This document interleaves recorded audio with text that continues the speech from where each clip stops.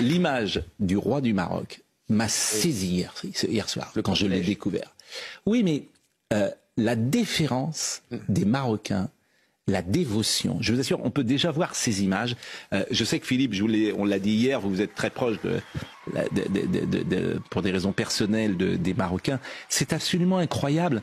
Les gens se jettent sur lui pour euh, l'embrasser, pour. Commandeur des croyants, c'est le commandeur des croyants, commandeur des croyants, descendant du prophète. Je Donc le roi du Maroc n'est pas euh, une nature divine, d'où la, la déférence à son égard.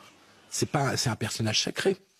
Ce n'est pas euh, comme un président de la République. C'est pas l'égard du politique qu'on a fait différence. Voilà. Regardez cet homme-là, par exemple, effectivement. Et ce qui m'ennuie, c'est toujours de prendre des lunettes de Paris pour juger une culture du Maroc. Ça m'a agacé.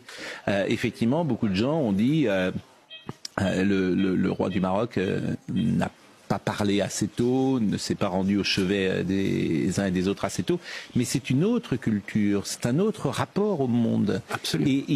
Et, cette culture, effectivement, dans un autre pays, ben, elle est intéressante à voir, mais surtout, il ne faut pas la juger avec nos paramètres à nous.